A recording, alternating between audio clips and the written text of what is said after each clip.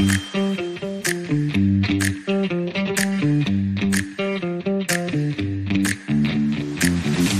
everyone, welcome back. I am the Electrical Code Coach, and today we're going to be talking about Receptacle Basics 101. And I guarantee no matter how long you've been in the game, there's a good chance that you're going to learn something during this video. And I'm going to also give you three things that you may not know about receptacles. But first, let's start with the very basics.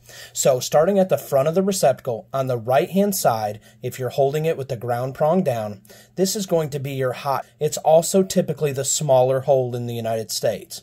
On the left-hand side is going to be a little bit wider. It is going to be our neutral terminal, and it's going to be on the left-hand side of the ground prong if the ground prong is down, and it's also going to be a larger hole. On this three-prong receptacle, the middle prong is going to be the ground prong, and that's going to be where we plug in our equipment ground, which we're going to talk about here in just a little bit. Also looking at the face of it, this is the yoke. The yoke is the strap or piece that holds the device together. We're going to learn some cool stuff about it here in just a little bit. All right, now let's continue on. Looking at the right hand side, if the ground prong is down, you notice that these terminals are typically brass. And on the left hand side, these terminals are typically silver. I was always taught black on brass, and that's how you know that the hot side is going to get the black wire if the black wire is your hot in a 120 volt circuit. Same thing on the left side, white on silver and that is going to be your neutral terminal on the left-hand side if the ground prong is down. Remember, never repeat anything in these videos, just use them for educational purposes only. And then again, if you're facing it with the ground prong down, this is going to be your ground terminal. Now we're going to see how all three of them connect. Well, if we take our electrical voltmeter and we put it on an audible continuity setting, we're going to test how all three of these are tied together. First, we're going to test the hot. Now, I do want to note that this is a TR receptacle, meaning it's tamper resistant. So you see these little shutters inside there? They're the same color as the receptacle, so you can't see them as much, but there's little shutters inside there. So before I can stick into any one of these terminals, I have to stick into both of them, or the shutters will not open. So once I get it open, I can go from here to the hot terminal, and that, let me get it down here where I can see it, that will give me audible continuity, letting me know that those two are touching internally.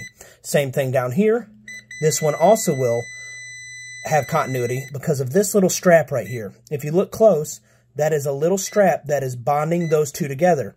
If you were to disconnect this, it would work independently from each other. And you'd have to go to this hole for this one, and you'd have to go to this hole for this one. But currently, it doesn't matter which one you go to. Let me open these up. It doesn't matter which one you go to because they're connected by that strap. Now let's do the same thing for the neutral. Let's go ahead and plug into both of them. Now we got it plugged into the neutral terminal. We can check our neutral terminal, and we should have continuity to both sides. Continuity there, and we have continuity there. Also, same thing with our ground terminal. We can push against the ground tab in the back, and also we have continuity here. Now let's go ahead and show you the first thing that you may not know about this receptacle, and you even if you've been in the game for quite some time. Yes, the ground prong will ring out from here to the ground. But did you know that it will also ring out from here to the yoke because they're all bonded together. Here, let me get this down here where I can hold it. Because they're all bonded together. And this is the one that you may not know. That also, this is the space right here where you screw your faceplate screw in. This one is also connected to the yoke. So whether you go from here, or from here to the ground, or from there to the ground, they're all interconnected together no matter how you do it, it helps in aid bonding the box and the faceplate. So if you were to screw this into a metal box, those metal screws, which are right here, these metal screws would screw into the box and help bond the metal box. That's also bonded to the yoke. That's also bonded to the metal faceplate, if it's a metal faceplate. And that would help all the bonding if there is a fault on any one of those parts. It helps make a robust bonding system. Now let's go ahead and talk about the back of this device. Now on the back of this device, there are stab lock terminal ports. And this is where, if you use the proper gauge wire and you use it in the proper way, you can actually stab it right in there. I have a video on some concerns and the way that I think about stab locking. You can check it out in my videos.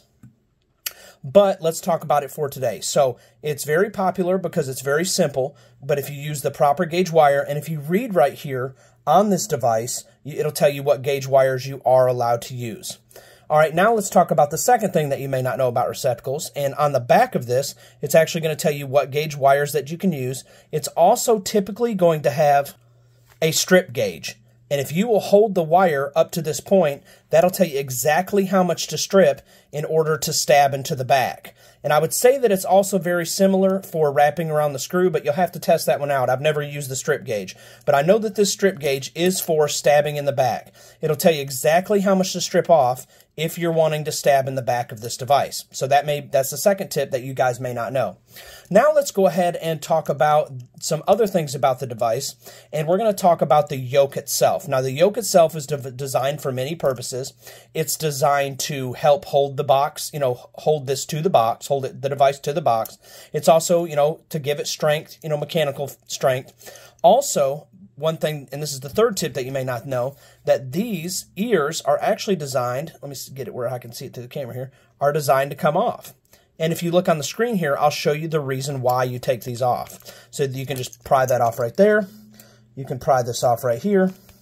And you can take and you can either cut this one or pry it off. I'll typically try to cut it off and you can cut it off right here. And I'll show this device right here on the screen. So if you look at this device right here, this is actually going to be a type faceplate. And if you have these ears on, it will actually not screw to the faceplate. You have to take these off in order to use any type of RS cover or any other cover of that sort. So this was a very simple video. It may have been all review for you, but I hope that you guys learned a little bit today. This is the ba electrical basics of a receptacle. I hope you guys have a great day. I want you to know that I'm praying for you today. And if there's anything that I can do to help you in life or business, you can always email me at electricalcodecoach at gmail.com. I know it's hard right now. I know you're pushing. Keep fighting. Whatever you're working for, whatever you're working on, you can do it. You got somebody fighting in your corner. Let's get to it.